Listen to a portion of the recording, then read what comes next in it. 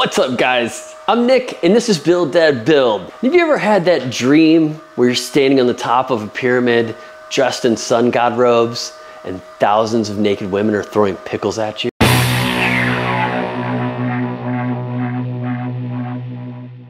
Why am I the only one that ever has that dream? That's right guys, we're back with another Xtool D1 video. Why? Because they sent me a bunch of material to cut and engrave and I just wanted to go over with you.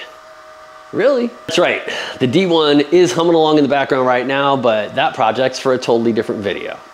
So let's sit down and uh, check out what this thing can actually do. Okay, so those of you that are unfamiliar, this is the Xtool D1 10 watt diode laser. And I feel like I don't need to say this again, but if you haven't watched my initial setup video right here, um, I was surprised when I found out that this thing can cut 10 millimeter pine two passes.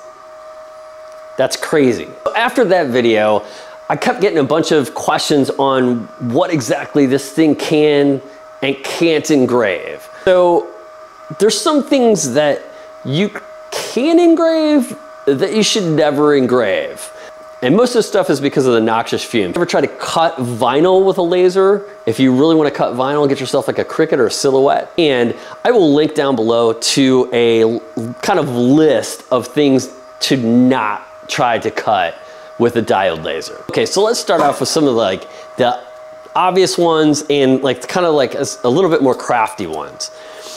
You can laser cut through paper. This is like kind of a thicker cardstock. You can also engrave and cut on cardboard. I know a lot of people that make uh, like really cool, like stackable things with cardboard because one, cardboard's really easy to cut with a laser, and two, your final product isn't super heavy. Like if I stacked up a bunch of pieces of wood like this that were all carved so you could see in through it, it'd get pretty heavy pretty quick.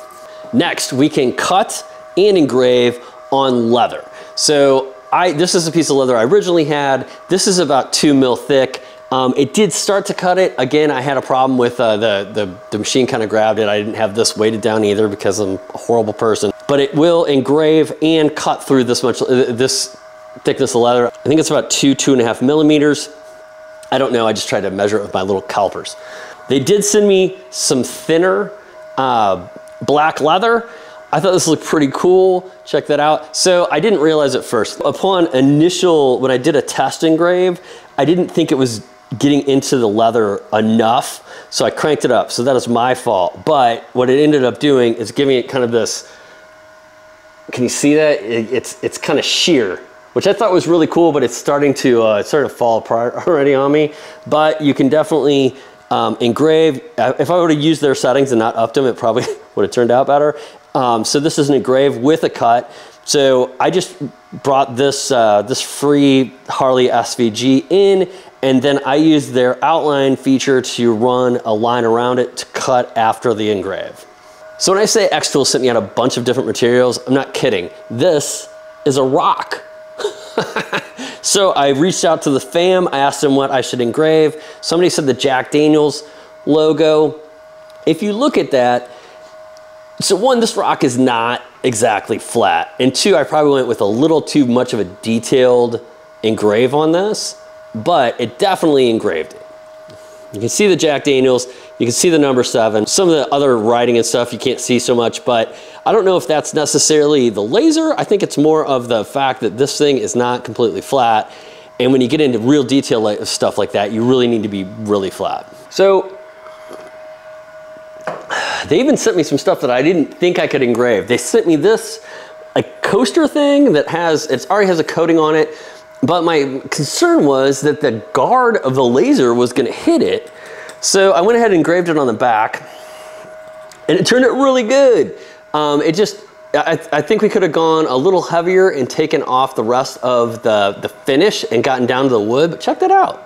Looks really good. After I had this frame and I was like, I run into the same problem, and then I realized that you can take the guard off, you can take the, the orange shield off, it just pops off. So I went ahead and I did a little, little Frankenstein little Steiny Stein there. Um, so you can pop that off and carve something if, if you're trying to get into a, like a nook or a cranny, kids. A nook. Or a cranny. Okay, so if you follow my live streams, you may have seen a couple of these. Somebody asked me to engrave a the Tesla logo on slate. Now, while me trying to center this was not the best, uh, look at how good that turned out. Slate works really well with the diode because you get that good white contrast. Check that out. Mm -hmm. Now sent me a little, little tree trunky. So we got a little Ghostbusters on there. After I ran the Harley logo, I wanted to do another one just to, uh, just since I had it in there. So I went ahead and did a cut and, a, uh, and an engrave on just a thin piece that's about, that's probably three mil, three mil ply. Might be three mil ply, that might be three mil, that's three mil ply. And keep in mind, I'm doing all of these in their proprietary software, Laserbox. The D1 is now compatible with Lightburn, but I just wanted to show you guys how capable their proprietary software is. It doesn't have a whole lot of bells and whistles, but it does have some pretty decent settings to start you with, um, including just being able to pull down a drop down and pick, you know, basswood three millimeter and things like that. Well, Nick, you say, it can engrave, but how detailed can it get? These are about the most detailed things that I can find that I find the least bit interesting. So that guy right there, this disc is yay big. It's about, about three inches, I think. And look at that. Look at that detail. It's amazing. And guys, before you get to the really kind of crazy ones that I wasn't expecting, um, let me say thanks to my patrons. Uh, without these guys, we would not have lasers in the shop. So I thank you. And I would like to say an extra special thank you to my top tier patrons or my Boilermaker patrons. Stephen Mann, Eric Weiss, Derek Coates, Chuck Faulkner, Puffy Muffins, Jim Carter, Andy the Viking, and our newest Boilermaker, Dwight Smith. Again, Clinkies. Clinkies. Okay, you can also engrave acrylic. I meant to include this before that. Um, there's a little acrylic engrave and you can cut acrylic too, which is actually what this is. I just, the, the, I bumped the laser and it skipped off and anyway, it can cut, it can cut thin acrylic, like two mil acrylic. Three mil? Let's find out. Okay, I'm lying. That's about one and a half mil. Nah, it's like 1.75. It's like close to two mil. Okay, this next one is a bit of a cheater, but um, I'm gonna do be doing a more in-depth video about this, but I just wanna let, put this out there. You can engrave on glass.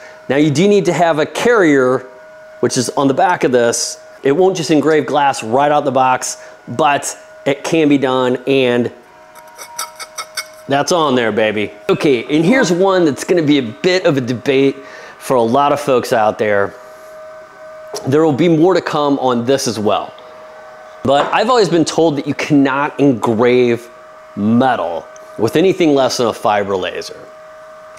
And I do believe this is the case.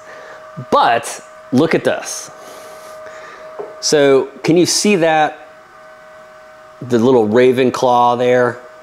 I, I had to stop it. It was taking too long to cut it out and bother me. But from what I understand, I have that is, has discolored the surface of this somehow. I have gone over this, if you can see the red on there, it's from my shop rag. I've gone over this with uh, lacquer thinner after the fact to see if it would come off because I thought it, maybe it was just going on to like the plastic coating or whatever they put on the top of it. Um, it's not coming off. So apparently this is not etching because there's no, it didn't take any material out but this is discoloring. Now, I think when a lot of people say I, they want to etch metal or they want to engrave on metal, I think this is all they really want to do.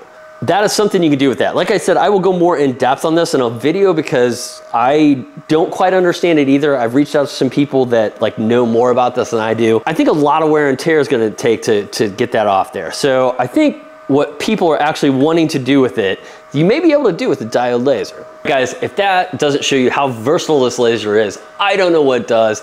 And if this doesn't make you want one in your shop, I don't know what will. So I hope you enjoyed the video. Uh, if you have any questions or materials you have a question about, leave them in the comments down below. If you like this video, hit that like button. If you had not smashed that, I can't say it. If you haven't hit that subscribe button yet, please do so. And until next time, thanks for playing. And now I gotta get to work. So when I say hors terse, oof, ooh, no, no, no, no, wrong laser. I don't know why I just opened that. Celia! Stephen Mann, Eric Weiss, Chuck Faulkner.